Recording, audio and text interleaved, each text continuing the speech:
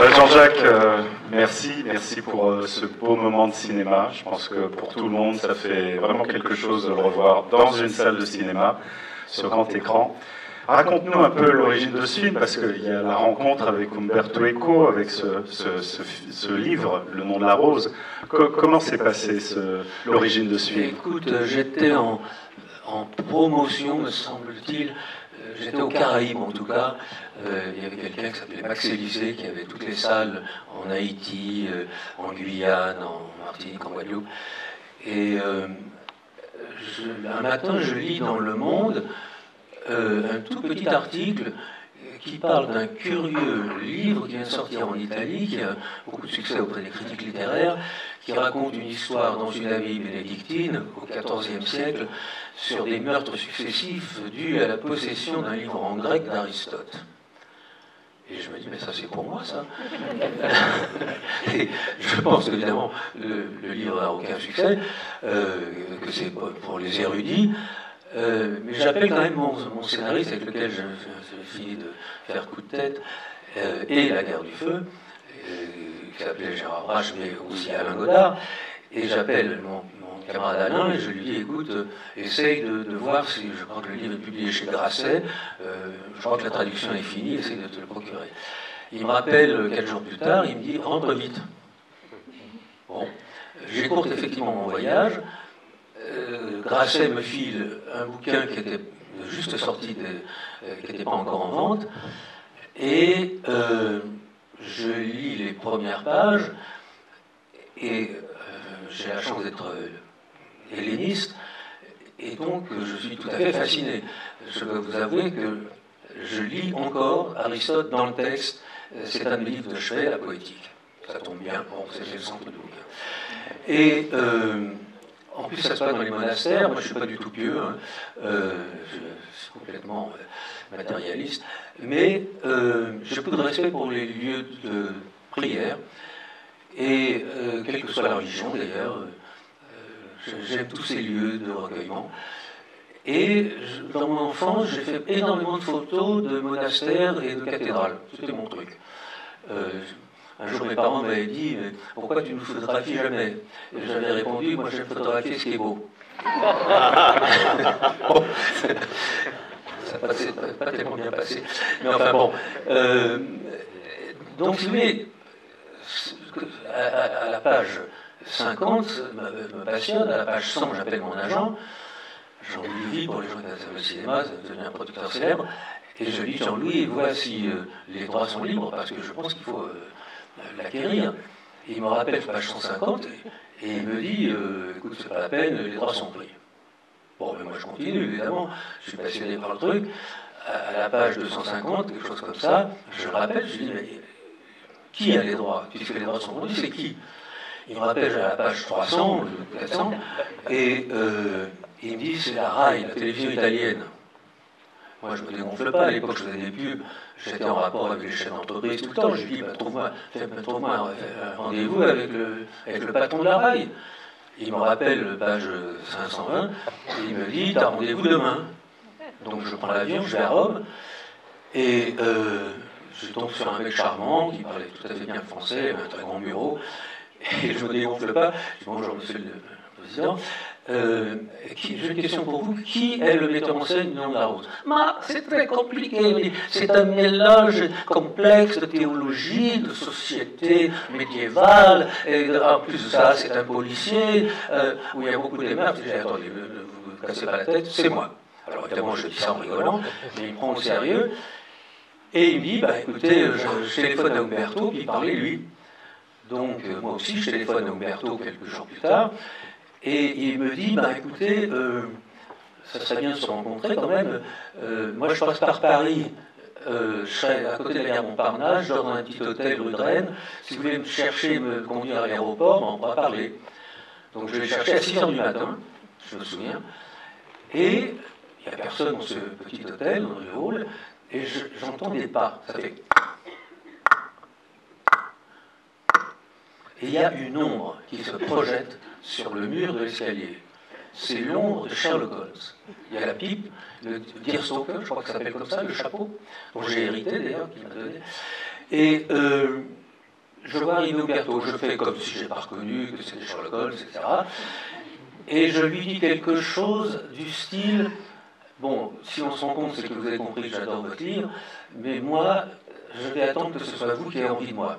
Donc, très, euh, euh, de ma part, mais j'étais sincère. Et donc, euh, je suis allé beaucoup, beaucoup voir Umberto, soit à Milan, soit dans sa maison de Montecerino, et, et, et j'ai trouvé l'homme passionnant, sa famille formidable. Et puis ça s'est fait tout seul. On a acheté, le, enfin bon, pas moi, mon producteur, qui voulait absolument m'avoir dans son écurie, il s'appelait Charles Legovici.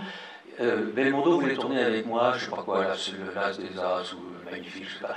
Et moi, c'était pas ce que je voulais faire. J'adorais Belmondo, il était charmant, euh, absolument adorable, très bon acteur. Mais c'était pas ça que je voulais faire. Mais pour me calmer en pensant que je, ne pourrais jamais faire le Don de la Rose, c'est trop compliqué, il achète le Don de la Rose pour quelque chose qui a, pour une somme qui a permis à Umberto Eco d'acheter la moitié d'une Volvo d'occasion de couleur langouste. Et donc, on allait euh, chez lui, il nous attendait à l'aéroport de Milan, et on était à l'arrière de la langouste. Et c'était, on ne disait même pas, tu viens chercher la voiture, est-ce que tu amènes la langouste? Oui, je vais vous attendre. Bon. Et puis là, le, livre, bizarrement, est devenu, à sa stupeur et à la mienne, et j'en étais désespéré, un triomphe d'achat, pas de lecture. Les gens achetaient, mettaient sur leur table de chevet et euh, étaient découragés parce que des grandes tartines en latin qu'il ne fallait pas lire. Et ils n'avaient pas compris, les gens, que c'était la décoration. Et donc, euh, le livre se met à se vendre d'une manière euh, considérable et moi, je suis désespéré. Parce que je pense que c'est que des emmerdes, parce que je vais avoir touché une chaîne de littérature, donc on va me dire bah, votre film, c'est un film, mais c'est pas le livre. Alors Umberto, il me disait, si on te dit ça, c'est vraiment que les gens n'ont rien compris. Moi, mon, livre est en vente dans les librairies, toi, ton film, il sera visible dans les cinémas. C'est deux choses différentes. rappelle-leur que un de mes amis est sculpteur, il a fait une sculpture qui s'appelle Le nom de la rose. Bah, c'est pas le livre. Voilà. Et donc, c'est ce rapport-là que j'ai avec Umberto. Il n'a pas voulu tout, toucher au scénario. Mais je lui ai quand même dit une chose. Je lui ai dit, Umberto, toi, tu m'as dit que tu avais tué la fille de façon littéraire. Alors, ta façon littéraire, comme tu me l'as expliqué, c'est qu'à la page 205, tu l'oublies. Comme les gens ne lisent pas ton livre en, une seule fois, ils oublient la fille aussi, et ça va très bien. Mais moi, je raconte l'histoire d'un vieux moine qui nous dit que la seule chose dont il se souvient vraiment dans sa vie, c'est ce premier rapport et son seul rapport avec cette jeune femme. Je dis, Umberto, je ne peux pas l'oublier, et je terminerai le film avec. Il était assez contrarié de ça. Sauf que quand il a voulu faire une série qu'il m'a proposée, et que j'ai refusé évidemment parce que moi je, l'ai fait le film, je n'ai pas envie de refaire une série télé à petits moyens avec des acteurs tocards, donc euh, je, dis non, euh, évidemment. Et, donc, qu'est-ce que je vois à la télé? Alors d'abord, je lis les critiques. Moi, j'ai des critiques de merde, pardon, excusez-moi, des critiques de caca. Euh, les critiques en Italie, c'était tellement mauvais que on faisait une tournée avec Sean Connery et on avait un avion, euh, petit avion privé pour faire aller à Vienne, etc. On faisait toute l'Europe. Je demande à l'attaché de presse comment est la critique? Il me dit, bah écoute, euh, il y a un journal, c'est pas trop mauvais. Là, les moteurs tournent déjà. Finalement, on frappe à la porte de l'avion, on rouvre la porte, et on nous balance un paquet haut comme ça de critiques. Toutes désastreuses, mais tellement mauvais que vous ne pouvez pas imaginer. C'était que j'étais un nul, que j'avais rien compris, ça. Et là, les distributeurs qui avaient prévu sortir en Italie, c'est à moins de salles qu'en France, mais sur quand même 400 salles, ils annulent tout, et il n'y a plus qu'une salle à Rome et une salle à Milan. Sauf qu'entre-temps, pour des raisons mystérieuses, le public a envie de voir. Il fracasse les vitrines des cinémas et les gens sont debout, euh, même sur les sièges à côté dans les. Et la télé fait une émission sur le drame qu'il n'y a pas assez de copies, etc. Je passe un week-end, moi, on m'appelle au secours, on me dit il faut que tu téléphones au labo dans, toute l'Europe pour faire tirer les copies d'urgence. Et on est passé de deux copies à 600. Et le film est devenu, bon, un film en Italie qui a, qui a, tenu la première place des, des, émissions en télé pendant 15 ans ou 20 ans, même chose en Allemagne. En fait, le film a mieux marché en Italie et en Allemagne proportionnellement à la France, où ça a très bien marché, on a fait ça bien en entrée. Euh, C'était correct pour ce film. Mais donc, si vous voulez, bon, ça c'est les aventures de, de cinéma. La... Et alors, bon, bah, maintenant, euh, les mêmes. Euh, j'ai traîné dans la boue, évidemment, par Télérama, par euh, Libération et tout ça aussi. Euh, j'ai l'habitude.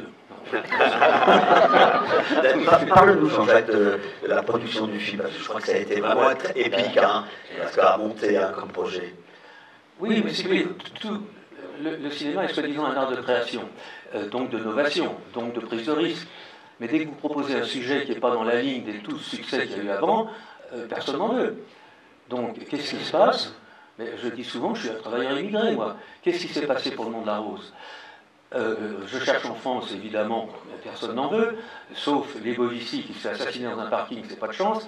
Le mec à qui il avait vendu la société, que le vieux Pierre Mouchkine, qui me voyait souvent venir dans sa projection Terminal Champs-Élysées et qui me disait avec son gros doigt, il me disait, mon cher Jean-Jacques, vous êtes complètement fou. Qui sait que ça va intéresser une histoire de moine? À, à la frontière de l'Italie et de la France, euh, avec des crimes sur un livre de qui déjà? Bah, Aristote, c'est qui celui-là bon, voilà. euh, Finalement, finalement, euh, j'ai réussi à avancer quand même là-dessus, mais on va à Los Angeles, j'emmène le père Mouchine. On me dit, oui, c'est Santa Claus going with. Qui, qui c'est le Père Noël là que vous avez? Alors j'ai dit, mais Père, euh, Père Noël, allez-y, dites-nous qui vous êtes. I have produced Fanfan la tulipe. D'accord. Euh, vous êtes dans un studio, vous êtes à la Warner ou chez Disney, vous parlez de Fanfan la tulipe, mais c'est complètement inconnu. Donc, euh, même si c'était un triomphe France, c'est que le film était bien. Euh, et, donc là, quand même, j'arrive à convaincre les gens de chez Warner, et je me souviens très très bien de la scène, que le film coûte à l'époque 16 millions de dollars, c'est-à-dire aujourd'hui 50 ou 60, choses comme ça. Euh, il nous donne le chèque. Je vous la fais bref parce que autrement je vais vous embêter avec toutes les, euh, les secousses. Le chèque est fait. L'avocat de Truffaut, qui était un, ami de, Nouchkine a le chèque dans la poche. Il me sort le chèque dans l'avion, il me dit quand même, je suis avocat d'Hachette et de, de, TF1, je ne sais plus quoi, j'ai jamais eu un chèque aussi important dans ma poche. On arrive en France, ils ne mettent pas le chèque en banque. Ils ont peur. Parce que qui sait que ça va intéresser un film de moine euh, avec euh, un livre de qui Aristote, qu'est-ce qu'il a fait celui-là? Comme succès, bon, euh, j'ai mal à répondre. et donc, en fait, euh, un jour, je suis dans ma maison de campagne, il y a le téléphone qui sonne, et il y a le père Mouchki, que j'adore, hein, demeurant, c'est le papa de. Euh, si la fusée européenne s'appelle Ariane, c'est parce que c'est le papa d'Ariane Mouchki. Euh, il me dit Alors, Jean-Jacques, je ne sais pas ce que vous avez fait à vos, distributeurs allemands, ils vous adorent, parce que vous avez fait un triomphe avec la guerre du feu. Ben, je crois qu'ils donnent tellement d'argent que, écoutez, venez vite, je vais vous parler. Donc, je, prends ma bagnole, une heure et demie après, je suis aux Champs-Élysées, je dis bonjour à mes distributeurs allemands, et il prend dans, dans, la pièce à côté. Et il me dit, écoutez, je crois qu'on va pouvoir faire le film. Euh, parce qu'ils sont fous, hein, les Allemands. Je ne sais pas ce qu'ils ont pas. Alors, mais il faudrait quand même peut-être pour les, pour les honorer un peu, euh, que vous preniez quelques techniciens allemands. Euh, bon. Alors, il y a une deuxième solution, ça serait faire une vraie coproduction avec l'Allemagne. Mais ça veut dire que quand même, il faudra pas mal de techniciens allemands et puis des acteurs allemands. Et là, d'un seul coup, son visage s'éclaire. Il devient vraiment excité. Et il me dit, il y a une troisième solution, c'est que vous alliez en Allemagne et que vous fassiez le film avec les Allemands. Le lendemain matin, j'ai pris l'avion de 8h20 pour Munich et j'ai resté 3 ans. Voilà. Et j'ai été euh, quasiment citoyen allemand.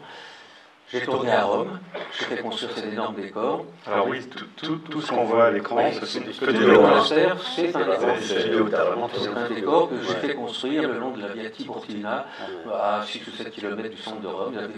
En, en, en, me baladant dans la région, je cherchais un décor comme ça avec une falaise, et euh, on a fait d'abord des routes pour accéder à, à ce, ce champ et ensuite avec un sens public d'ailleurs, euh, des parkings, et puis on a construit un des, un des plus grands décors de l'histoire du cinéma en Italie. C'était le plus grand décor de Cléopâtre.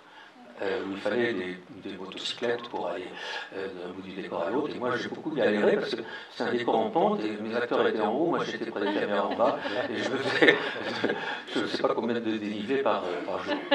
Euh, mais c'était très bon pour la santé et c'était extrêmement euh, agréable. Je suis très très bien entendu avec toute cette bande de, de fous furieux. Avec le Euh, souci du détail, hein, je crois, dans les décors. Tu, tu- tu as tous. Ah oui, oui. J'ai encore chez moi euh, les, les pots dans lesquels je mets mes crayons sur le bureau euh, ont été des pots qui ont été copiés, euh, euh, qui ont été coulés en bronze sur des modèles qu'on a fait sortir des musées.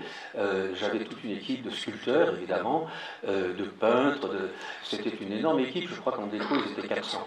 Euh, sur le tournage, on était 200 à peu près, parce qu'il y avait quand même pas, mal de figurants, et autant d'habillés que de figurants, etc. Enfin bon, donc c'était une très, très grosse équipe. Mais moi déjà, si vous voulez, j'ai commencé tout à fait par hasard, parce que j'ai fait les deux écoles de cinéma. Euh, j'ai été diplômé à 19 ans et demi, j'ai eu mon premier chèque de metteur en scène à 19 ans et demi, et puis je jamais arrêté. Donc euh, j'ai- j'avais tellement l'habitude de manier des grosses équipes en pub, euh, j'avais, je faisais des films de bagnole, des films de, de cascade, des films en avion, des films en hélicoptère, vraiment, c'était ma vie, mon quotidien. Et donc les grosses équipes m'ont jamais impressionné, parce que j'ai j'ai démarré avec des équipes de trois personnes. J'ai fait des petites pubs à, trois, puis après des petites pubs à, à 5, puis des pubs à, à 12, puis des pubs à 100, puis des pubs à 200, et des pubs à 300 euh, euh, techniciens. Quand vous avez des effets spéciaux très compliqués, évidemment, il faut beaucoup de monde. Et, donc c'était là-dedans que je vivais, donc je n'étais pas du tout impressionné, moi, de faire construire un, énorme décor. On avait fait une maquette, j'avais commencé moi par un truc en, pâte à modeler, je voulais absolument que quand on ouvre la porte du monastère, on voit la tour. Voilà. Ben, j'ai quand même revisité à peu près 300 monastères et il n'y avait jamais la porte qui s'ouvrait sur la tour. Parce que cette tour, en fait, elle a été imaginée par Umberto euh, d'après le château qui s'appelle Castel del Monte, qui est dans, les- dans le sud de, l'Italie. Et euh, la situation générale par euh, une très belle église qui est sur un piton près de Turin, qui s'appelle la Sacra di San Michele. Et la première chose que j'ai faite avec la famille Eco, j'ai visité ce, ce monastère au Perché, que vous avez peut-être vu en allant sur, en passant près de sur l'autoroute. Euh, on voit cette euh, église remarquable. Donc voilà, c'était les, les premiers pas. Euh, Je ne vous raconte pas évidemment le cauchemar que ça a été d'attendre les réponses euh, des studios. Euh, presque tous ont dit non au départ. Parce qu'au départ, tu avais la Columbia, je crois, hein, c'était ça. Alors, non, c'était pas au départ, j'ai eu plusieurs, Ouais. mais euh, figurez-vous que euh, la Columbia, mon, mon agent qui s'appelait Bob Bookman, qui s'appelait toujours Bob Bookman, très bon francophone, euh, euh, très important agent qui a été chez RCF, ensuite chez CIA, euh, m'appelle et me dit j'ai une mauvaise nouvelle et une bonne nouvelle, laquelle tu m'en prends C'est surtout la mauvaise, ben, je fais plus de ton agent. Et la bonne c'est quoi? Ben, Ton film, Le nom de la rose est chez Columbia, j'en deviens président. T'as Igor Teichinger, euh, pour aller lui dire bon- bonjour. Dans le couloir, il me dit Ah, au fait, euh, qui t'a pris pour le rôle principal Et là, je sens que ça va pas le faire. Je lui dis On a signé Sean Connery. Il me dit Tu déconnes, c'est pas possible. Sean Connery, c'est un vieux ringard. Et il est insupportable sur le plateau, et puis c'est un nul. Euh, tu vas détruire ta carrière. Tu ne feras plus jamais de film. Je lui dis, écoute, c'est trop tard, on l'a signé. Il s'adresse à mon producteur, Bert. Il lui dit, est-ce que c'est vrai? Oui, c'est vrai. Mon ami demande à sa secrétaire d'amener le contrat. Sur le contrat, il a marqué qu'il a une chose qu'il peut refuser, c'est le rôle principal. Je refuse. Eh bien, on lui dit, bah, tant pis. Et il déchire le contrat. Et on lance le film sans di- distributeur américain. Vous comprenez bien que sur un film de cette taille-là, vous ne pouvez pas vous passer des grands marchés. Parce que les États-Unis, c'est pas que les États-Unis, c'est toutes les filiales en Angleterre, en Australie, euh, en Nouvelle-Zélande, euh, à Hong Kong, au Japon, etc., euh, qui sont concernées. Donc euh, vous perdez votre financement.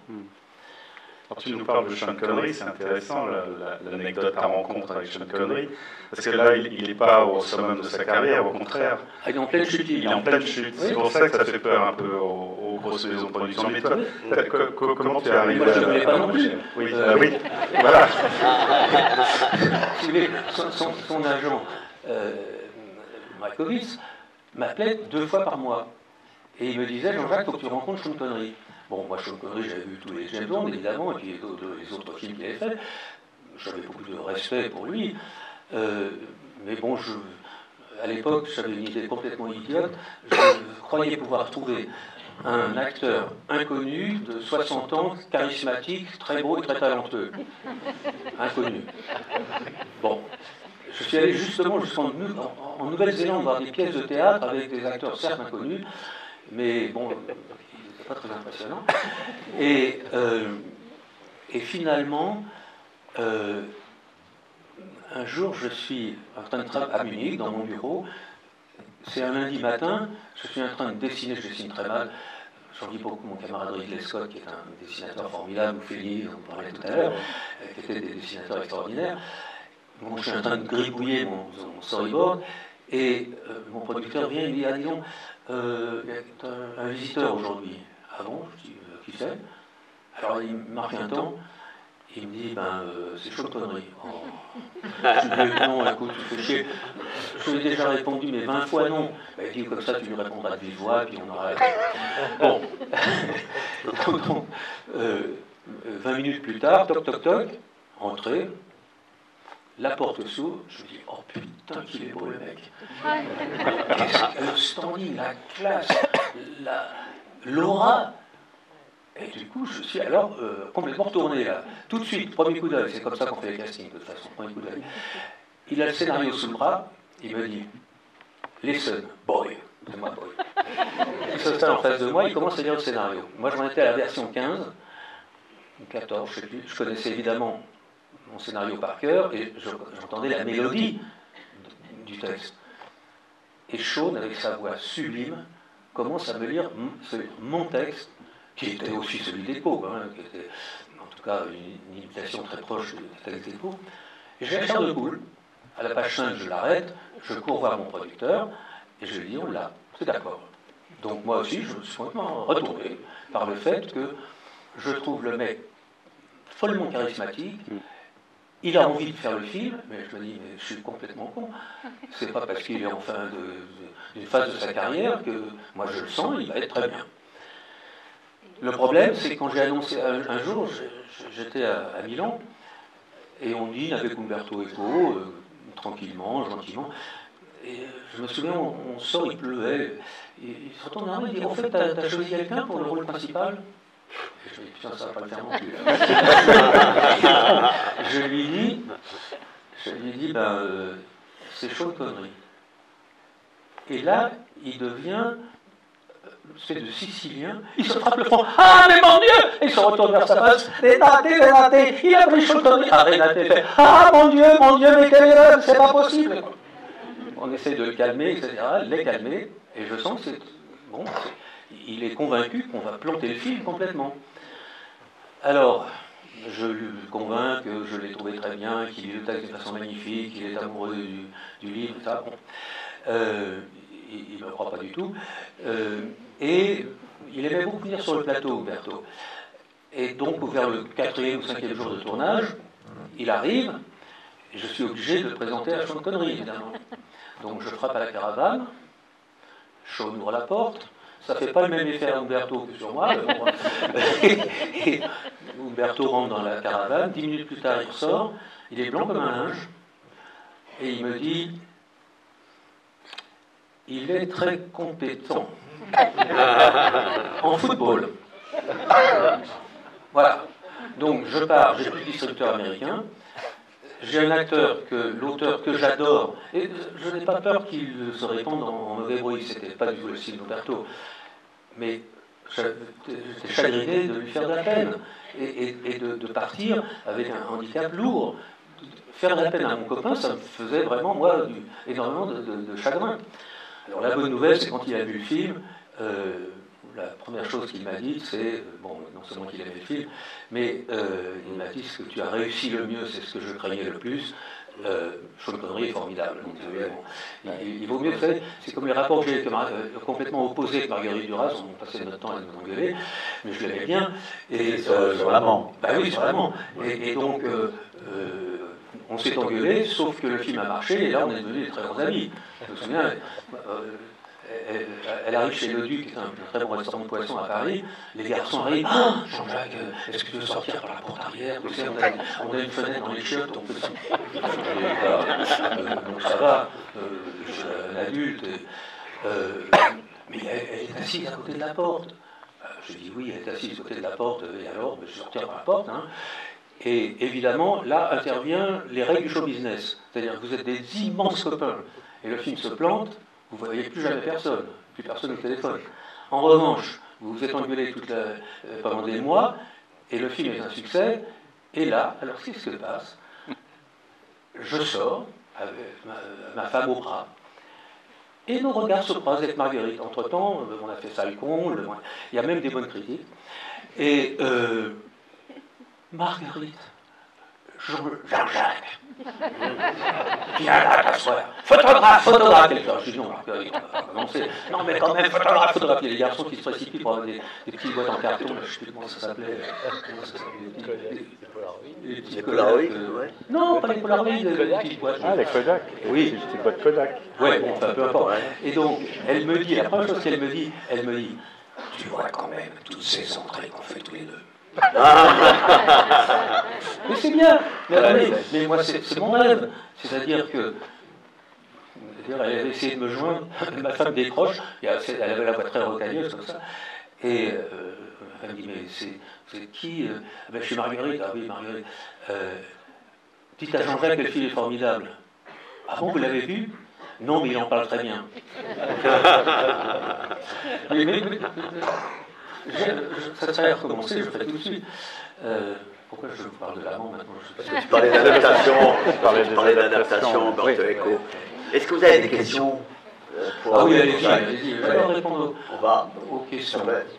Sinon, on va parler aussi de Christian Slater, c'est intéressant, le, Ah le oui. jeune Christian Mais Slater. peut-être. Attends, on va pas laisser Non, mais je garde des trucs, à la euh, salle. Comment sait-on que les franciscains ne portaient pas de chaussettes? Alors, ça c'est une des premières questions. J'aime bien aborder les choses avec un peu d'humour. Euh, quand euh, Umberto rentre dans, dans la, la petite voiture qui va l'accompagner à, à Roissy, je lui dis, vous savez Umberto, je vais vous poser quelques questions. Par exemple, euh, quelle était la couleur des cochons de l'époque? Il me répond, ah, je ne sais pas, je ne l'ai pas écrit. Bon. Je lui dis, bah, ils étaient noirs. Ah, bon, très bien. Euh, je lui dis, de quoi étaient chaussés les franciscains? Il me dit, je ne sais pas, je ne l'ai pas écrit. Je lui dis, ils étaient souvent pieds nus, euh, car c'était le vœu de pauvreté, mais euh, parfois, sur les longs trajets, ils étaient chaussés de sandales en peau de chèvre non tannée, très important non tannée. Ah bon, me dit-il. Et je lui dis une autre question encore plus embêtante, c'est est-ce que les moines étaient barbus? Il me dit, je ne sais pas, je ne l'ai pas écrit. Et je lui dis, moi je ne sais pas non plus. Et donc je vais me renseigner. Et on a mis en place une équipe sous la direction de Logov, qui était le grand médiéviste de l'époque, une équipe de six historiens spécialisés dans les domaines de la liturgie, de la vie de la vie des pauvres, etc. etc., euh, que j'appelais tous les jours pour euh, me renseigner, parce qu'on ne peut pas euh, inventer ces choses-là. Alors effectivement, euh, l'histoire des chaussettes est la suivante, c'est que le premier jour de tournage, je suis en haut de la tour. Donc derrière, c'est des tubulaires, des escaliers, etc. Et avec mes jumelles, je suis en train de faire une plongée. C'est pas moi qui plonge, la caméra est en plongée. Euh, et je vois des trucs bleus sous la, robe de, de. Je demande à mon assistant qui est en bas, au Toki, je lui dis, qu'est-ce que c'est Qu'est-ce qu'il y a de bleu là au-dessus des sandales Il va voir, il me dit, il a des chaussettes bleues. Je descends, je me tape toute la tour, je descends par le sentier, je vais voir Sean. Je lui dis, Sean, c'est quoi ça? Il me dit, mais c'est ton. C'est ta costumière qui me les a tricotés. Je lui dis, mais attends, je n'ai pas demandé à ma costumière de tricoter des chaussettes bleues. Il me dit, non, mais j'ai froid aux pieds. Je lui dis, je comprends. Effectivement, on est en janvier, il fait froid, mais c'est impossible. Il me dit, comment ça c'est impossible? Ce moine-là, il a les chaussettes bleues. Je lui dis, ce moine-là, c'est le penseur des franciscains. C'est lui qui a décidé qu'on marchait pieds nus.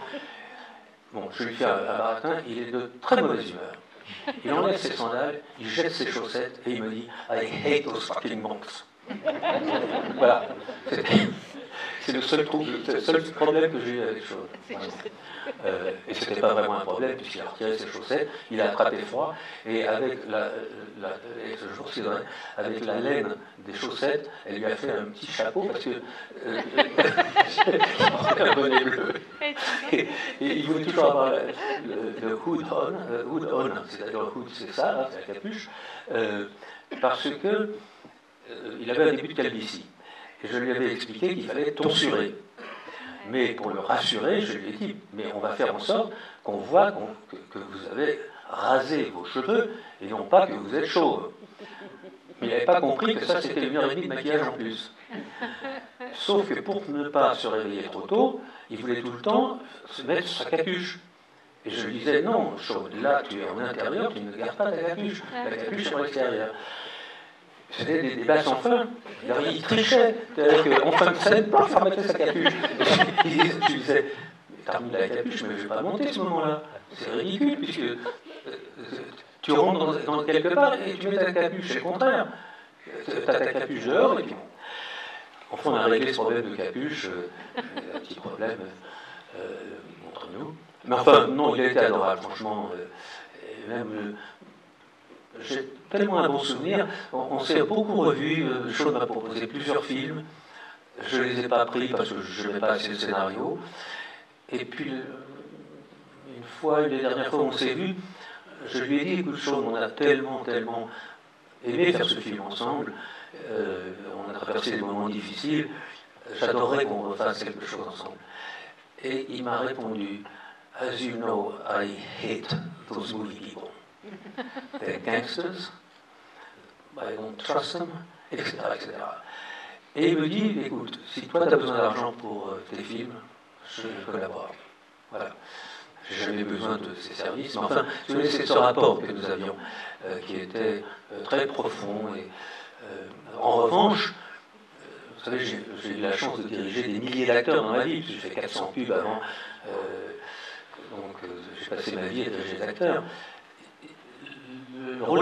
Je n'ai jamais eu un acteur aussi détestable. Jamais, jamais de ma vie. Épouvantable. Et à l'époque, j'étais jusqu'à. euh, Lorsqu'il a disparu, très ami avec Miloš Forman. Et j'avais repéré le personnage de Salieri dans Amadeus, donc j'appelle Miloš. Et je lui dis écoute, euh, j'ai peut-être un rôle pour ton, ton acteur, euh, Efmir Abraham. Il me dit avec sa grosse voix tchèque, il me dit Pour quel rôle? Alors je lui dis Pour le rôle d'un inquisiteur. Alors il me dit Est-ce qu'il est très méchant? Je lui dis Très méchant. Alors tu n'as même pas à le diriger.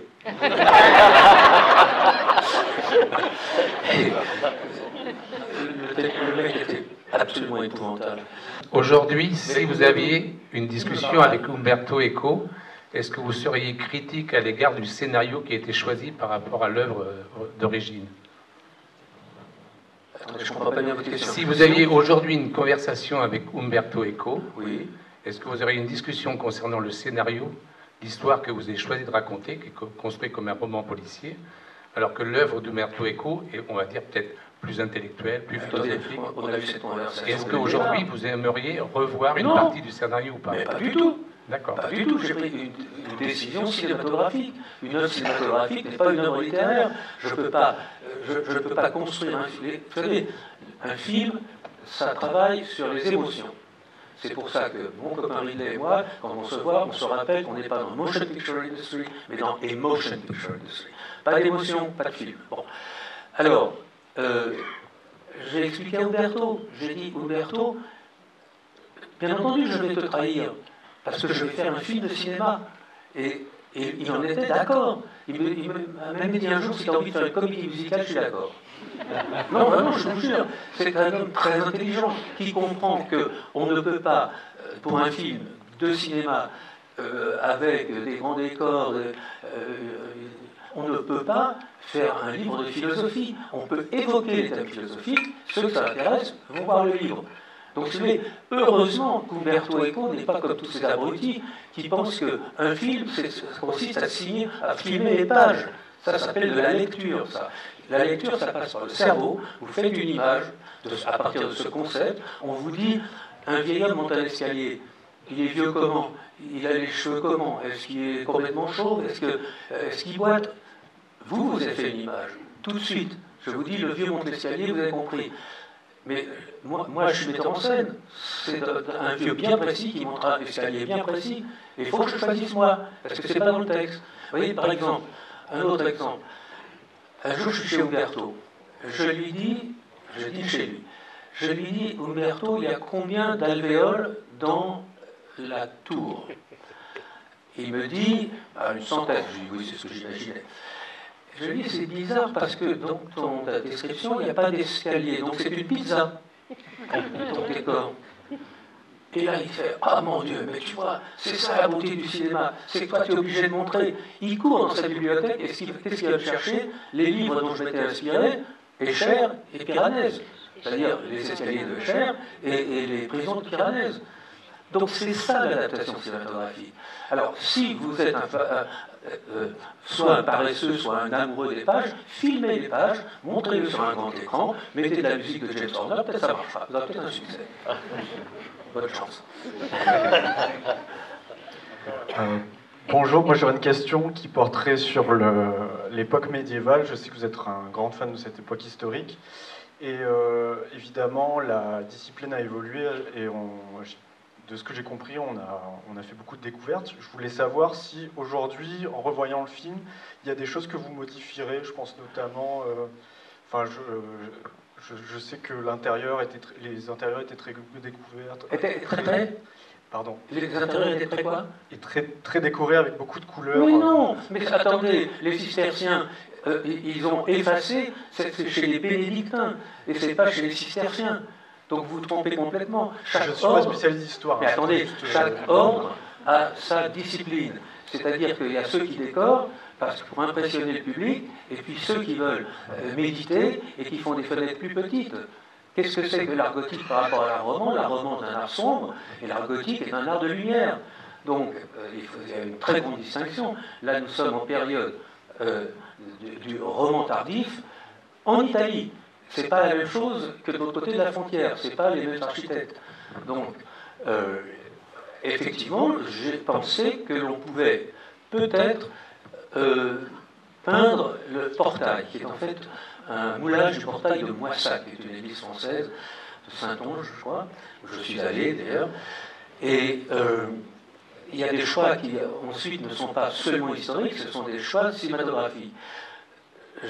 J'ai pensé que si je décorais, je me situais véritablement chez les, bénédictins, comme euh, à Vézelay, ou alors, qui, sont des cliniciens, encore une fois, chaque ordre a sa discipline. J'ai choisi, moi, de ne pas décorer parce que nous avons l'habitude de voir des bâtiments sans décoration et qu'on n'aurait pas cru. Si, J'ai eu cette conversation beaucoup avec la femme d'Umberto, avec Renate, qui était une grande spécialiste des couleurs, figurez-vous.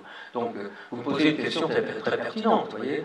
Mais il y a un moment, je suis obligé de prendre des décisions d'ordre cinématographique, et je n'ai pas tort en montrant euh, des, intérieurs non décorés. J'aurais très bien pu faire des, intérieurs décorés, ça aurait été une autre conversation. Il y a une grosse erreur historique dans le film, je vous la signale tout de suite. C'est. Euh, j'ai pris beaucoup de soin, toutes les statues que vous avez vues, les stalles, tout ça, ça a été refait pour le film. Les ferronneries, Et il y avait une scène que vous avez vue, qui est une scène sous la Vierge, qui est une Vierge que, que Umberto Eco décrivait comme ayant une très jolie silhouette avec une petite gancette qui rehaussait sa poitrine. En fait, il se référait à une vierge bavaroise plus tardive. Mais bon, euh, disons que c'était son idée, il fallait que Coubertin de Casal soit amoureux de la Vierge, et donc j'ai choisi ce modèle-là. J'ai fait faire donc une maquette par euh, les sculpteurs, j'ai approuvé la maquette qui était de cette taille-là et qui était tout à fait bien. Pendant qu'on construit ces énormes décors, je fais redécorer une église vide, où vous avez vu les champs, tout ça. Tout ça, c'est un, des vrais murs, c'est un des rares décors qui n'est pas construit, mais tout ce qui est à l'intérieur, les ferronneries, les salles, c'est construit. Et j'arrive pour vérifier ce décor. Je suis mon chef décorateur, donc Ferretti. pas le moindre d'un con. Euh, il est décorateur de Scorsese maintenant, après avoir été celui de Sergio Leone et de Fellini. Je vois cette statue, je dis, ça va pas du tout cette statue de la Renaissance. Il y a mon producteur, attendez, ils viennent d'investir quelque chose qui serait comme 30 millions de dollars dans un décor. Ils me disent, mais Jean-Jacques, tu fais trop chier. Mais attends, mais qu'est-ce que, pourquoi les Renaissances Parce qu'il y a trop de plis. Les, vierges euh, gothiques, ou, ou romanes tardives, elles ont peu de plis. Ils disent, bah, attends, tu fais tellement chier. Mais franchement, non. Euh, finalement, oui, euh, je dis, c'est vrai, bon, tant pis, j'accepte la Vierge. Je ne sais pas pour quelle raison, la première du film, c'est à Marseille. Il y a quelques applaudissements, la salle est pleine, mais quelques applaudissements. Et il y a une- quelqu'un qui lève le doigt, qui dit Monsieur, je lis dans la presse que vous donnez beaucoup de mal pour la vérité historique. Comment se fait-il que vous avez une vierge renaissance J'ai le coup sur Stalingrad aussi. Euh, je fais construire un train blindé. C'est pas mal, petit blindé, euh, une tourelle de défense, etc. Je m'assure que cette, ce train blindé date de 1941, euh, donc antérieur au film. Le film passe en, Russie, et là, j'ai des centaines de lettres. On me traite d'inculte parce que, oui, le, ce train blindé existait à l'époque, mais il ne pouvait pas arriver à Stalingrad parce que les rails étaient détruits. Bon. Ben voilà. Aujourd'hui, il y aurait des milliers euh, de mots sur les réseaux sociaux que je ne lis pas, heureusement. J'ai été- on m'a demandé la mise à mort 7000 fois parce qu'il y avait un ours que le zoo de avait baptisé comme étant l'ours de mon film, ce n'était absolument pas le cas. Et c'était un très vieil ours qui faisait comme ça. Euh, ben oui, il était gaga, effectivement. Enfin bon, je sais pas moi. Vous parliez de décision cinématographique. Je me trompe peut-être parce qu'il y a très très longtemps que j'ai lu le livre et votre film euh, a pris le pas sur toute la représentation que j'en avais. Mais il me semble que dans le livre, le labyrinthe, il est horizontal. Je me Mais vous avez raison, c'est ce que je viens de donc c'est d'expliquer. c'est ça. C'est ce que je viens d'expliquer, c'est-à-dire que Umberto euh, me, me dit j'ai eu mon inspiration avec euh, Castel del Monte. Je suis allé voir Castel del Monte. C'est un petit château qui est beaucoup moins haut, qui fait seulement trois étages, celui-là fait euh, une quinzaine d'étages. Et donc, effectivement, Umberto avait mis, s'était pas aperçu qu'il n'y avait pas d'escalier dans sa tour et que tout était horizontal. Mais si vous voulez, ça c'est la, c'est la beauté, la différence. C'est que moi je vous impose une vue. Et vous savez ce que je fais maintenant? Euh, Quand je fais un film à partir d'un livre, je dis aux auteurs, méfiez-vous, si vous voulez que votre livre reste votre livre dans l'esprit des gens, refusez l'adaptation. Mais ils sont tous là à courir pour qu'on fasse une série merdique, parce que ça multiplie les ventes. Donc qu'est-ce qui se passe? Bah, On réinvente et on réimpose. Réimpose une vision qui est ma vision à moi. Quand j'ai lu, c'est ce que j'ai vu moi. Et je dis le plus honnêtement possible, attendez, je ne dis pas que je filme le livre, je vous donne la vision que j'ai eue moi. Effectivement, je n'ai pas pu abandonner la fille. Parce que je me dis, mais comment abandonner une fille dans une scène qui est la première euh, fréquentation de ce jeune homme du corps d'une femme C'était la vérité de Christian Slater. Il a été puceau, il, a été stupéfait quand il a vu euh, la poitrine de, de Valentina. Et quand elle l'a pris contre lui, bon, j'ai vu que c'était. Bon. Bon, on a dit après. Votre choix sur Ron Pellman. Merci pour cette question, parce que Ron reste un de mes grands amis. Je lui ai parlé il n'y a pas longtemps, je faisais une émission de télé, et on a appelé Ron en direct. Il a dit des choses merveilleuses. Euh, il était mon acteur euh, dans le, La Terre du Feu. Et il était remarquable. Et je l'adorais. Et je lui fais passer des essais. Mais le problème, c'est que j'étais en coproduction italo-allemande et que je devais prendre un rôle important italien. J'avais choisi un type, peut-être comique troupier, qui s'appelait Franco Franchi. Et Franco Franchi, je fais les premiers essais de maquillage avec lui, je l'avais marqué sur contrat qu'il fallait euh, lui donner l'impression qu'il avait la gale, donc le raser par endroits, lui laisser quelques tours de cheveux, etc. Signer le contrat. Et la première fois où je vais le voir au maquillage, il a une espèce de, de coiffe à la Frankenstein, donc une espèce de, de tour comme ça, puis quelquefois là-dessus. Je dis non, Franco, attends, euh, il n'est pas, question de te mettre un faux crâne, c'est ton vrai crâne à toi qu'on va raser. Et on refait un essai avec le crâne un tout petit peu plus petit, je lui dis non, c'est le crâne rasé. Et j'avais dit à Ron Perlman, Ron, je ne pourrais te prendre qu'en cas de désastre, s'il y a un problème avec euh, ce rôle. Or, cet acteur attend le vendredi, la veille du tournage, pour me dire je ne me couperai pas les cheveux, parce que j'ai une émission de télé, et je ne peux pas couper mes cheveux. On a cassé le contrat, et Ron Perlman était dans son lit à New York, dans une toute petite chambrette, il était devenu chauffeur de taxi.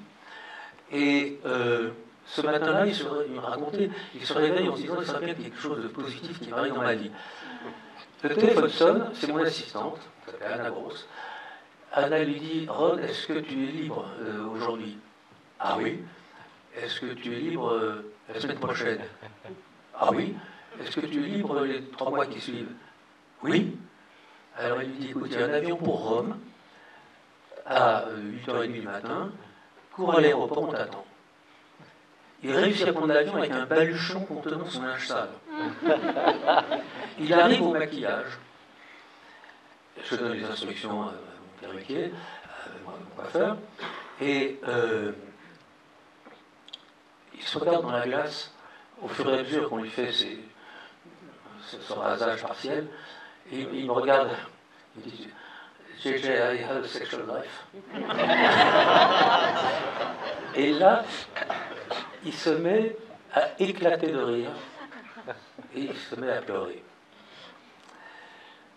Et il m'a redit l'autre jour, il m'a dit, tu sais, j'étais amené à porter un bonnet pendant six mois. Euh, mais j'ai retourné avec lui en Stalingrad, dans la série Harry Geller Je l'adore ce mec, il est fantastique. C'est un homme d'un humour phénoménal, d'une gentillesse extraordinaire. Quand il arrive sur le plateau, tout le monde est de bonne humeur. Il a fait, là, ce qu'il a fait sur Salvatore, c'est magique. Hein, même moi, euh, quand j'ai revu le film, je me suis quand même, qu'est-ce qu'il est bon, Ron c'est fabuleux. Dans ce langage pénitentiaire, agité, etc., tout un texte en, en, franco-italien, euh, espagnol, etc. Non, c'est un. Vous savez, il est devenu très célèbre maintenant. C'est vraiment une très grande star. Il a raconté d'ailleurs notre premier casting il pensait que j'étais euh, à l'époque, je faisais de la pub, j'étais habillé gratuitement par Saint-Laurent. Alors j'étais en costume Saint-Laurent quand je fais le casting et je demande aux mecs euh, des hommes primitifs, etc. Dans mon costume Saint-Laurent, c'était une erreur fondamentale évidemment. toutes ces choses-là. Mais il me prend pour un clown. Et il fait un truc grotesque parce que c'est son premier casting. Et il, se dit si c'est ça le casting pour un petit con. Euh, et il apprend seulement plus tard que j'ai l'Oscar, que je vais Et, d'un seul coup, il est catastrophé. Mais moi, entre-temps, je suis avec mon producteur Michael Groskopf, qui est de Cuisine, et il se penche vers moi et il me dit He looks like a Jew from Brooklyn. Ben, je lui dis Il existait déjà à l'époque. Hein. Voilà. Donc, effectivement, si vous voulez, euh, euh, mon producteur. Euh, qui fait partie de cette communauté, ne voulait pas de cet acteur parce qu'il était trop juif. Moi, je ne vois pas qu'il est juif, cette histoire. Euh, mais ça, c'est les petits euh, les imprévus du casting. Et c'est un, acteur tellement euh, créatif, tellement fiable, c'est un, un, bonheur d'avoir ce mec sur le plateau. Enfin, je vais en faire tout un. mais enfin, merci pour cette question. J'ai remarqué au générique que c'était indiqué d'après un palimpseste de Umberto Eco. Pourquoi ce choix de mots plutôt que livre? Écoutez, palimpseste pour les spécialistes, euh, autrefois les, livres étaient très chers, c'était fait en peau de mouton, enfin en peau d'estomac de, mouton, et si possible, ça s'appelle le venin, d'estomac de, de fœtus de porc, ou de veau, pardon, plutôt de veau. Et donc, comme ça coûtait très cher, lorsqu'un texte n'avait plus d'usage, on le grattait, de façon à réécrire un autre texte dessus. Alors on a eu toute une conversation avec Umberto, est-ce que je fallait que je dise un palimpseste d'Umberto Eco ou sur un palimpseste d'Umberto Eco? Parce que est-ce qu'on désigne le livre en lui-même ou le texte ancien se devine, et c'est une nouvelle écriture, c'est ce que j'ai voulu dire, mais il eût peut-être fallu que je dise sur un palimpseste, car le palimpseste est le livre gratté. Bon. Ça n'a pas préoccupé grand monde, mais c'est comme le titre, si vous voulez. Une interview pour la radio catholique de Rennes. Euh, il y a une, on dit, bon, c'est très important, hein, c'est la radio catholique. et il y a une dame qui arrive avec une boîte du Moyen-Âge, euh, qui était un, euh, un enregistreur, une grosse boîte en bois. Et moi, je suis assis dans la salle où il m'interviewe. Et on, lui, on a, chez Presse vient au bout d'un quart d'heure, il me dit, mais c'est M. Arnaud qui interviewe. Ah ah, monsieur Arnaud, euh, vous, faites, quoi? Ben, Je dis, je suis metteur en scène. Ah, c'est quoi metteur en scène? Alors je dis, madame, c'est la personne qui est sur, qui gère le film. ah, et vous dites comment metteur en scène, monsieur Arnaud? Bon, euh, alors j'ai pas vu le film, mais ah, je dis, écoutez, madame, alors, euh, dans ce cas-là, ben, racontez-le-moi. Euh, euh, donc finalement, je convainc la dame d'aller voir une autre projection. Elle revient après le, dîner, euh, pendant le dîner d'ailleurs. Et on dit, il y, a, la dame de Radio Catholique qui est là, vas-y. Alors elle tourne sa machine et elle me dit, Monsieur Arnaud, la couleur. Pardon? Elle me dit rose. Je dis, ben, oui, Rose, oui, quoi, qu'est-ce que savoir? Mais pourquoi Rose? Ben, Je lui dis, parce que le film s'appelle Le nom de la rose. Ah, pourquoi? Ah, ben pourquoi, madame? Parce que quand Umberto Eco a fait son livre, il pensait l'appeler l'abbaye. Alors, euh, l'éditeur lui a dit, c'est nul ton truc, euh, l'abbaye, pour autre chose. Il revient un jour plus tard, il va appeler la bibliothèque. C'est nul. Il revient deux semaines plus tard, il lui dit, ça s'appellera le nom de la rose. L'éditeur dit pourquoi Parce que stat nomine tenemus, etc. Bon, la phrase en latin, que j'ai oublié depuis, euh, et l'éditeur n'ose pas lui demander pourquoi.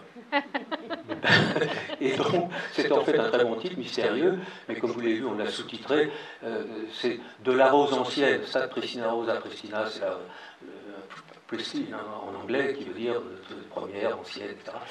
Euh, Stat Pristina Rosa de, de, la rose du tenant que le nom, euh, nominé, euh, nominé Nuda Tenemus, seul nous tenons entre nos mains le nom. Donc c'est un truc de sémiologue qui veut dire que le concept est plus fort que la chose. Voilà. N'oublions pas que Huberto était un grand sémiologue et que c'était un titre assez magique parce que, en fait, un titre qui marche, c'est le titre d'un film qui plaît. Euh, c'est aussi simple que ça. Jacques a une question en haut. Oui euh, Alors, je ne sais pas si c'est une question euh, très pertinente, mais. attendez, vous êtes très loin, donc on vous entend très peu. Donc mettez très près, d'accord. non, mettez voilà, bien le micro devant. le casting de Gueule, ça vient d'où? Les questions comment? Je, je, pense le, la distribution des acteurs secondaires. Ça vient d'où? Bah, C'est mon choix. Euh, le casting, moi je fais des castings dans le monde entier.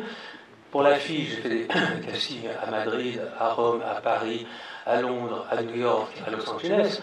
Euh, j'ai choisi trois filles, euh, une italienne, une espagnole sont devenues très célèbres, et Valentina Vargas, qui est chilienne. le garçon, eh ben, euh, j'ai fait des castings dans ces mêmes capitales. Et je me souviens à New York, il y avait une queue phénoménale dans l'hôtel qui s'appelle euh, Park Lane, et qui est en face de Central Park. J'ai vu 150 gamins euh, le premier jour, et il y a un gamin qui arrive et qui me dit Pardonnez-moi, je ne sais pas mon texte parce que je me suis brûlé la gueule. Il a, il a 14 ans. Et mon casting directeur furieuse. Elle dit sortez d'ici. Non, je lui dis attendez. Le, mot me plaisait. Euh, je trouvais mignon, euh, sympathique, vivant. Je lui dis bah, tenez, je vous donne le texte à lire. Il me lit le texte, alors que tous les autres avaient appris leur texte par cœur et annonnaient comme, comme des, idiots. Lui, il dit le texte avec du sentiment. Bon, en fin de journée, je dis à mon casting directeur, je vais étonné, mais c'est le mot qui ne savait pas son texte qui m'a vraiment plu. Les autres, j'ai trouvé nul. Elle me dit, tu ne peux pas faire ça, c'est complètement euh, non, professionnel, en plus de ça, c'est mon fils. je lui dis, écoute, euh, Marie-Jo, euh, je suis désolé, c'est ton fils, bah, tant mieux. Je lui non, non, non, c'est pas professionnel, moi je suis un directeur professionnel, je prends des gens qui savent leur tête. Bon, elle me fait toute une galère. Moi, j'avais résolu la chose suivante, c'est que je voulais choisir le jeune homme d'abord, afin que lui se sente confortable avec les filles que j'allais lui présenter. Le hasard du calendrier fait que j'organise euh, les, essais, qui n'étaient pas des essais d'une scène de sensualité, bien sûr, euh, une scène de rencontre, tout ça. Et euh, le hasard du calendrier fait que je tourne avec Valentina Vargas, la chilienne, en premier. C'est le soir, je quitte Marie-Jo et son fils, et je dis rendez-vous demain à 6h au maquillage pour les deux autres comédiennes. Marie-Jo vient absolument catastrophée. Elle me dit de nouveau, tu vois, tu as fait le mauvais choix. Mon fils est tombé amoureux, redingue, de cette fille, et il ne veut pas tourner avec les autres. Je dis, c'est tout ce que je souhaite, moi. Donc, euh, on va la prendre, il n'y a pas de problème. Donc, bien sûr, je l'ai prise tout de suite. Et l'italienne, qui était charmante et devenue très célèbre, et l'espagnole aussi, ben, je les ai renvoyés à la maison. Euh, et, c'est pour ça, que dans, la scène, il y avait vraiment ce désir de ce gamin qui avait juste 15 ans quand il a tourné. On avait le droit avec les garçons, n'est-ce pas? Euh, Elle était beaucoup plus âgée, elle avait menti un peu sur son âge. Elle avait 24, je crois, 25. Euh, en tout cas, elle était très, très séduisante et, euh, vraiment. Christian est tombé à l'envers. Il, était tellement amoureux qu'il dormait tous les soirs devant, la porte comme un chien, euh, devant la porte de Valentina. On était obligé d'amener des couvertures pour pas qu'il prenne froid. Euh, Ce n'était pas le problème qu'il ait un Le problème, c'est qu'il allait retarder le tournage parce qu'il avait de la fièvre. Donc, euh, alors, le reste du casting, j'ai pris comme directeur de casting le directeur de casting de Fellini. Et qui connaissait tout un tas d'acteurs à Naples, je fais des castings à Naples, parce qu'il y avait des acteurs de ciné-théâtre qui étaient des gens, des acrobates, tout ça avec des gueules formidables, qui ressemblaient au tableau de Bruegel. J'ai fait euh, des castings évidemment à Munich et à Berlin, et j'ai eu des acteurs, le bibliothécaire est allemand, euh, le, gros bonhomme qui est le célérier est allemand aussi. Et si vous voulez, ça c'est le plaisir de constituer une équipe, et c'est entièrement, moi qui suis responsable du choix des casting directeurs et des acteurs que je vais rencontrer. Et par exemple, le monsieur, le vieillard, était venu se présenter comme figurant. Et je remarque que ce vieux monsieur parle un français excellent, parle évidemment l'italien et l'anglais, il a une gueule formidable, et je lui dis, mais attendez, vous faites la figuration, pourquoi? Il me dit, vous savez, moi j'ai été élevé dans les cours euh, impériales, royales, mon père était chanteur, il s'appelait Chaliapine, moi je suis grand amateur d'opéra, donc évidemment je connais l'œuvre de Chaliapine. Et il me dit, voilà, j'ai grandi parmi les princes, j'étais très riche, les droits de mon père sont formidables. Et donc je me suis dit, tiens, pourquoi pas faire du cinéma sur mes vieux jours Ça doit être rigolo, les plateaux de cinéma. Euh, donc voilà, je suis figurant. Et moi, ce mec-là, je le trouve formidable. Entre-temps, euh, je rencontre John Huston. J'avais rencontré John Huston avant, qui est d'accord pour faire le rôle. D'abord, il est charmant, j'adore son œuvre, on s'entend très très bien, mais je me dis que je fais une erreur là. En prenant quelqu'un de célèbre, je vais signaler qui est le meurtrier. Donc il faut que je prenne un inconnu. Et donc, j'ai le choix entre John Huston et Chaliapine. Et je prends Chaliapine. Évidemment, tout le monde est un peu étonné de ce choix, mais qu'est-ce que je suis heureux de l'avoir fait. Je suis resté ami avec John Huston, j'ai encore de la correspondance avec son fils. Donc, si vous voulez, euh, c'est le métier. C'est pas parce que quelqu'un est formidable, ou c'est pas, pas parce qu'il est célèbre qu'il faut le prendre. C'est le drame d'ailleurs de beaucoup de films où on prend d'abord les acteurs, après on fait le scénario, et après on tourne euh, ce qui reste. Euh, euh, la relation avec euh, Sherlock Holmes, notamment le nom de Baskerville, la narration du point de vue d'Atso, la déduction évidente dès, les premières paroles avec l'histoire des toilettes, c'était aussi important dans l'œuvre originale. Ah oui, oui c'est ce qui vous a plu non, que je vous explique les origines. Parce que non seulement je suis resté très ami avec Umberto, mais je connaissais tout son environnement, en particulier ses anciens élèves, dont ma première petite amie, qui était sa première élève euh, française, qui était une normalienne, etc. Euh, Umberto avait, pour faire en sorte de, parlait de saint Thomas d'Aquin, sur lequel il avait fait son doctorat. Il avait décidé de mêler le penseur de l'ordre franciscain, qui était donc Guillaume d'Occam, avec Sherlock Holmes. C'était une idée de professeur pour intéresser ses élèves. Et en fait, ses élèves m'ont dit, mais attends, on a cru que c'était une blague le bouquin, parce qu'on avait des photocopiés de ça euh, toutes les semaines. Il était universitaire à Bologne, c'est pour ça que j'ai redécouvert le film à Bologne, parce que j'avais un hommage à rendre à Umberto, euh, qui était prof à Bologne depuis euh, de nombreuses années. Donc, c'est une ruse d'Umberto qui annonce la couleur très tôt dans son livre, en disant de toute façon, tout est copié. il parle du sublime récapitulation. Mais oui, c'est-à-dire que un jour, Umberto me dit Est-ce que tu as reconnu où j'ai copié les 20 premières pages? Je dis, as copié ça Il me dit, c'est Zadig, de Voltaire. T'as pas reconnu, me dit-il ah, Je dis, attends, j'ai lu Voltaire quand j'ai des mots. Euh, non, je ne me souviens pas. Et il me dit, la description du partage des moissons, elle est belle. Hein ah, je dis, oui, c'est super. Il me dit, c'est le guide Michelin, le guide vert. bon, mais c'est ça le talent. C'est le talent d'avouer. Vous savez, moi, des fois, je fais des scènes. Je me dis, mais c'est marrant ça. Est-ce que j'ai déjà fait cette scène? Très souvent, la réponse est oui dans un autre film, dans, un dans une pub, j'ai déjà fait cette scène.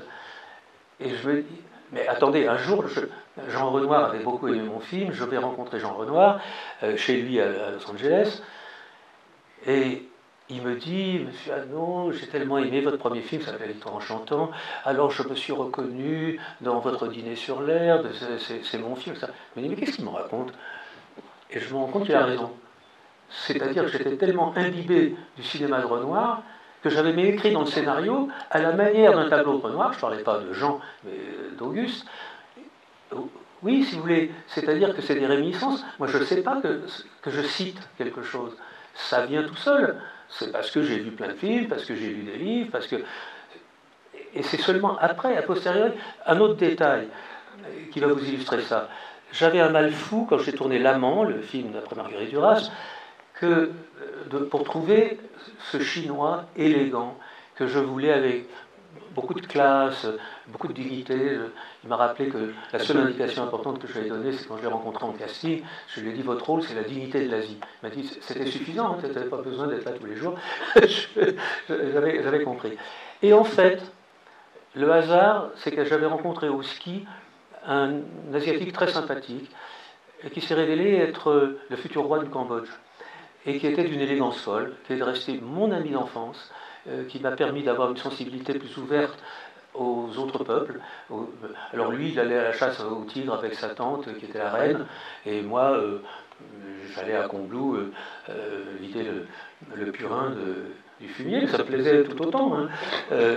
donc, si vous voulez, je ne m'étais pas aperçu que je cherchais en fait ce camarade qui était un tombeur de filles extraordinaire, parce que non seulement il était prince, il habitait à l'ambassade, son père était ambassadeur assassiné par Sihanouk, enfin bon, je vais pas raconter l'histoire, mais si vous voulez, c'est des années plus tard que je me suis rendu compte que j'avais du mal à le trouver parce qu'il était unique. Sa mère était provençale, il, était en même temps complètement asiatique. Et il était euh, d'un physique tout à fait remarquable, de très grande dignité. Voilà, donc si vous voulez, c'est pour ça que les inspirations, moi je ne cherche même pas à savoir d'où elles viennent. J'écris ce qui me passe par la tête, et ce qui me passe par la tête est forcément lié à, mon éducation, euh, euh, latin, grec, euh, A', concours général, enfin moi je suis le produit de ça, les écoles de cinéma, des centaines de films que j'ai vus. Tous les soirs j'allais à la cinémathèque, plage 2D, au centre, rang 4. Ma place était réservée pendant, je sais pas, 8 ans, 10 ans. donc j'ai et plein de films que j'ai oubliés, sauf que Umberto disait un truc, il, me disait, tu sais, les films, on se souvient jamais trop bien de l'histoire, il y a une image qui marque, une, c'est ça un grand film, une image. Voilà. Et on n'a pas parlé de la musique sans Jacques aussi. Bah, de James Horner. voilà, on reprend une heure. Hein. Ça, a tellement de choses à dire. Merci, Jean-Jacques, pour votre présence.